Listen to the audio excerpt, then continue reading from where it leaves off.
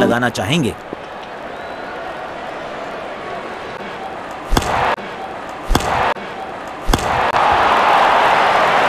कड़क है ये शॉट और गेंद गई है सीधा तारामंडल में। बहुत ही खूबसूरती से खेला ये शॉट।